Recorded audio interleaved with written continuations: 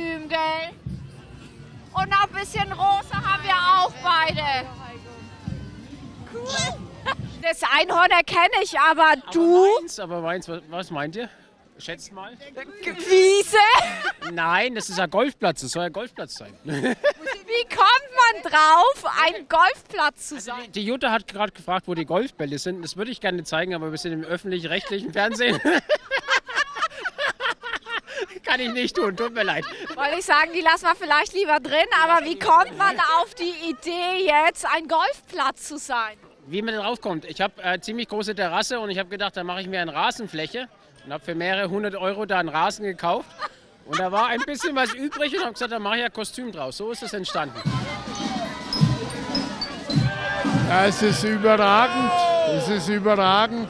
Bei diesem wirklich Scheißwetter eine, eine, solche, eine solche Resonanz ist unglaublich. Wir haben ja schon vorgeglüht, zweieinhalb Stunden bei, bei mir war Riesenparty mit vielleicht 350 Leuten. Und jetzt geht es so richtig los. Können Sie mein Kostüm erraten? Kostüm? Irgendwas gegen Regen und Hexe? ich bin der, der Trash-Clown. Bitte? Der Trash-Clown. Oh, Trash hat irgendwas mit kaputt zu tun. Ne? Nicht schön. Also, alles Gute! Ich habe mich heute als äh, Gärtner verkleidet und habe eine Vielzahl von Tulpen und Rosen schon verteilen können. Und das mache ich jetzt jedes Mal, weil man mit jeder Blume den Frauen und den Kindern ein Lächeln ins Gesicht zaubern kann. Und es ist heute einfach schön. Ich bin total glücklich. Mir macht es Spaß und die Menschen, die sind auch glücklich. Was will man eigentlich mehr? Auch in der schweren Zeit muss man sich ein bisschen Zeit für sich selber, für die Seele nehmen.